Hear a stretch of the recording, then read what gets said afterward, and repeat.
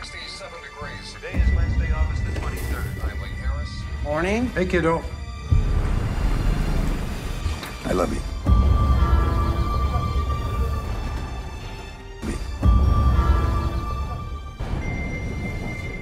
It's my first time on a commuter train. What about you? Every day, last 10 years. Ten years. You must know everyone on this train. I'm sorry, have we met? No, I'm Joanna. Michael. I study human behavior. My job is to answer one basic question What's that? What kind of person are you? Let's do an experiment.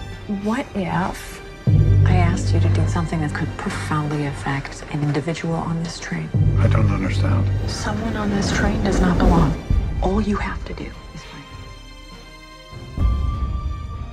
In the bathroom, there is $75,000.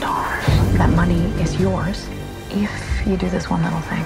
I thought this was hypothetical. You have until next stop to decide. What kind of person are you?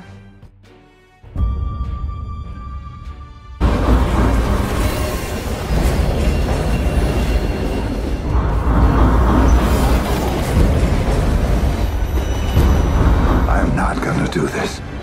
You're trying to set me up. No one forced you to take that money.